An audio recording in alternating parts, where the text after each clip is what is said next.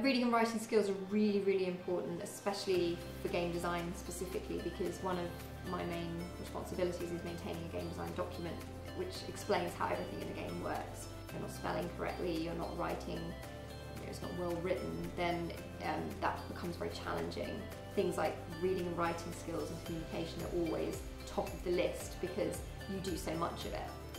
I have people uh, on site, yeah, our laborers and operatives who doing oh, all day they're working and doing work, but towards the end of the day, they need to complete paperwork. They need to say what did they do, what issues did they need, how did they resolve them, yes? So reading and writing in every aspect of the work in our industry, it's important skill to have. Reading skills is really critical to be able to understand what you're being asked for by reading between the lines and also being able to write and make sure that you're fully understood with really good quality grammar. I spend all day exercising my reading and writing skills. In an email to someone, if I'm writing something for the website, if I'm writing something to go out on a leaflet or put something on social media, I spend all day thinking about the best writing I can do and trying to be responsive to what people are sending me. And the thing is, is that people notice if your writing skills aren't good. My colleagues write uh, tweets and Facebook posts to publicise things that are going on, so there's a real uh, important style that people need to use when you're using social media like that. When I come to do paperwork, I'm very vigilant in writing and rereading what I'm doing because I'm a little bit more aware that it doesn't come naturally to me the medical records, that, so the documentation that we would write up following our contact with a patient or treatment of a patient forms part of the patient's medical records and may stay with them for the rest of their life. We can go to diabetic patient and if I say hyperglycemic, they've got high blood sugar. Um, but if I write it as hypoglycemia, that's low blood sugar. So somebody reading the report form's got the completely wrong end of the stick. It's so important that it's correct so when we're relaying that information to the crews, they know exactly what's happening.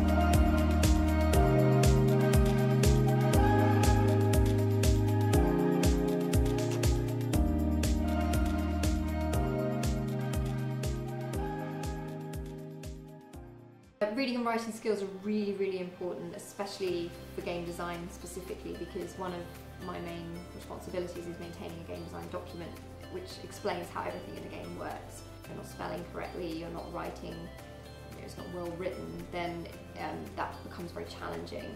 Things like reading and writing skills and communication are always top of the list because you do so much of it. I have people uh, on site, yeah, our laborers and operatives who doing all day they're working and doing work, but towards the end of the day, they need to complete paperwork. They need to say what did they do, what issues did they need, how did they resolve them, yes? So reading and writing in every aspect of the work in our industry, it's important skill to have. Reading skills is really critical to be able to understand what you're being asked for by reading between the lines and also being able to write and make sure that you're fully understood with really good quality grammar. I spend all day exercising my reading and writing skills. In an email to someone, if I'm writing something for the website, if I'm writing something to go out on a leaflet or put something on social media, I spend all day thinking about the best writing I can do and trying to be responsive to what people are sending me. And the thing is, is that people notice if your writing skills aren't good.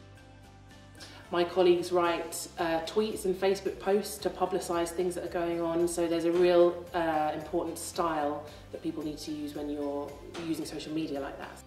When I come to do paperwork, I'm very vigilant in writing than rereading what I'm doing because I'm a little bit more aware that it doesn't come naturally to me. The medical records, that, so the documentation that we would write up following our contact with a patient or treatment of a patient forms part of the patient's medical record and may stay with them for the rest of their life. We can go to a diabetic patient and if I say hyperglycemic, they've got high blood sugar. Um, but if I write it as hypoglycemia, that's low blood sugar. So somebody reading the report form's got the completely wrong end of the stick. It's so important that it's correct so that when we're relaying that information to the crews, they know exactly what's happening.